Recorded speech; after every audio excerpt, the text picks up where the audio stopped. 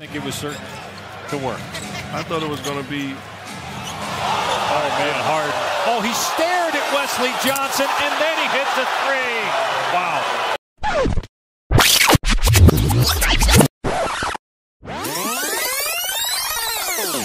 Before we see all that, let's see what people had to say when Chris Paul was traded to the Rockets.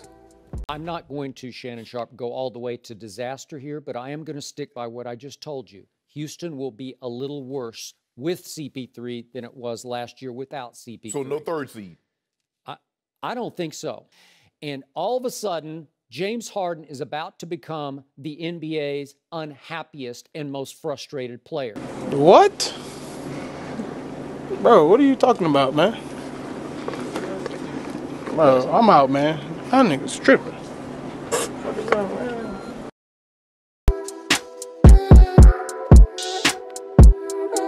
And boy, was Skip Bayless tripping. But what's new? Skip Bayless, that's all he does. Hot takes that are all BS. But for once, he wasn't the only one with this take. There was a lot of people saying that the Rockets won't be that good with Chris Paul. And boy, were they all wrong.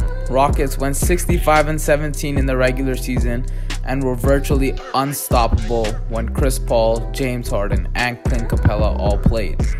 So, what was the big deal? Great regular season. Many teams do that. As we know, my favorite team, the Toronto Raptors, do that a lot. So, it all came down to one thing Do they even have a fighter's chance against the Golden State Warriors? The hot takes came again. Are the Rockets done? Done. Done. But honestly, they were done before the series started. If Houston doesn't get it done, the series is over. They're not going to win an Oracle. This Western Conference final everyone's talking about, like it's the 27 Yankees against the 96 Bulls, is going to be the biggest sports disappointment since Mayweather Pacquiao. It just won't last as long. Mm. Anybody who think the Rockets gonna win a game or win this series is an idiot. You're declaring this a sweep. This is one game over, Ernie. So if you lose game one at home against this Warriors team, the team you've been talking all this trash, the team all we do is obsess about the Warriors. If you lose game one after all that talk, this series George, is a wrap. let me ask you this. Oh, I tried to talk myself into last night the Rockets winning a game in this series, just one game, and it would be this game. And I can't. I'm They're such frauds. They're the Raptors of the West. Who knows? Rockets and Warriors, the matchup we've all been waiting for. Rockets are gonna get swept. They don't play defense. Mm-mm, you don't. I'm going to go so far as to say if they don't win game one, it's a wrap. Like I said, I picked the Warriors in five. Can they win a game? No, they're not gonna win a game. What? I picked the Warriors in five. I want to say I'm taking the Warriors in three. Uh, Again, boy, weren't these analysts wrong? What was that BS they're talking about? Not having faith in a 65 win team just because of one game. I get it, you're losing on your home court, but give them a little more respect. Now, I know everybody says James Harden and Chris Paul are playoff chokers, but if you actually look look at the history, you might be able to say something about James Harden, but if you look at Chris Paul's stats in the playoffs, maybe he has one or two blunders in his career, but in his overall playoff career, he's been he's been pretty damn good. And in game 2, they came out aggressive and they had no thought of losing. And they didn't just win that game, they destroyed the Golden State Warriors in game 2, going back to Oakland tied at 1. Okay, okay, I get it. Game 3, the Rockets come out really weak. The Warriors come out strong, but honestly, we expected that. The defending champs playing at home right after they're getting destroyed, they're to come back strong and they they did what they had to do. They easily destroyed the Rockets who kind of gave up in the second half. But then we come to game 4. The Rockets season on the line. James Harden not playing his best basketball in the second half, and what happens? Chris Paul steps up. This was the reason you brought him here. This was the one and only reason.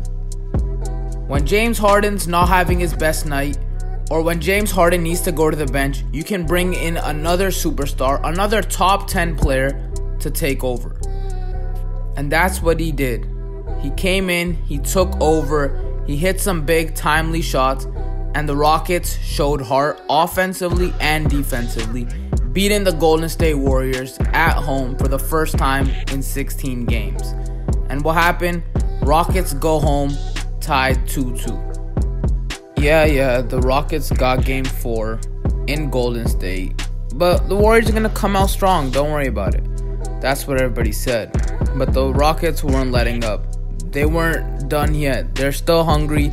They come out extremely strong against the Warriors in game 5 at home and they they just they just hit them straight in the throat. They're they're not going like that, they say. The Warriors do make a run as expected. They come back, tie the game late. It's a close game. Again, Chris Paul, great in the second half, going at a guy like David West, which which was a complete mismatch. And the Rockets, at the end of the day, they get the win, go up 3-2. But that wasn't the biggest story. The biggest story is what happened towards the end of the game. Not Chris Paul's great play, but one play that Chris Paul was involved in. Well, they might have to drag him because you know he's not going to come off the court. But he is hurt right now, limping, walking gingerly and slowly to the sideline. Again, look at the play on the other half of the court. This is the most important play of the game because Golden State can take the lead with 40 seconds left. You know Chris Paul has to be agonizing in pain right now in order for him not to get back on defense. Now, win or lose, that one play changed the rest of the series. Then we come to game six where Chris Paul is out. Rockets surprisingly come out pretty good, but then in the second half, ah, let's just watch it. On Harden. So Durant got the step on Capela and lost it. Able to get it to Curry over to Thompson for three. Harden now picked up by Curry on a switch. Harden shovels underneath and get it for Capela. And Curry comes away with it. Crossover. There it is. Went behind the back. Found Looney. Back to Curry. The three.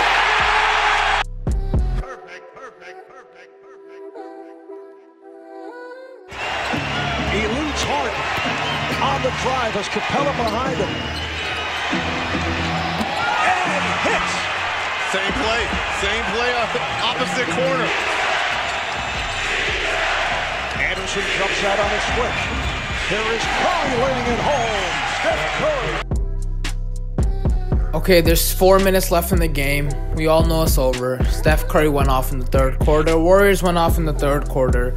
Rockets couldn't make a shot in the second half, and it's over. I'm I'm mad that the Rockets did all that. I'm mad that James Harden wanted to play so good in the first quarter and then disappear for the rest of the game. But honestly, what what can we expect? James Harden's a great player. I, I don't want to say he's a choker because he played good this playoffs, but still, you had this team on the ropes. Even though we knew Golden State was gonna make a run, you, you had a chance to do something. But regardless, whatever happens, happens. Golden State gets, I'm doing quotation marks here, lucky again. Got lucky with Mike Conley getting injured, which they probably would have won that. But whatever, he got injured. They got lucky with Kyrie and Kevin Love getting injured. They got lucky with Kawhi Leonard getting injured last year in the Western Conference Finals.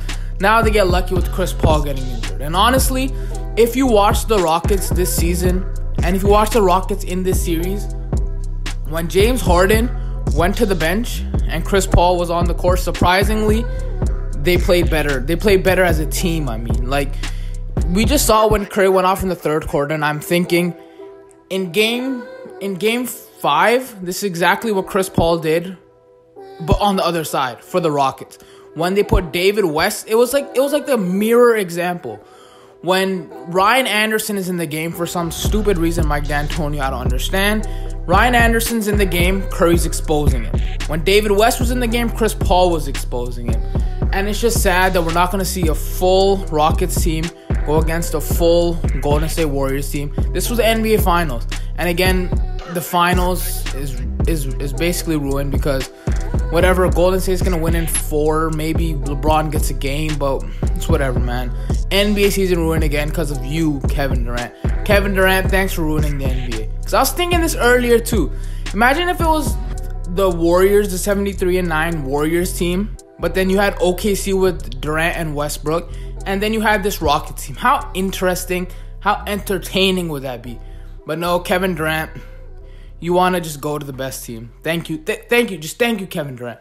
You- are great. You're, you're like the greatest player ever. Thank you, Kevin Durant. All right, whatever. That's going to do for this video. Hopefully, you guys enjoyed. Give this video a thumbs up if you did, and please subscribe to my channel. Help me get to 1,000 subscribers. I'm out. Peace.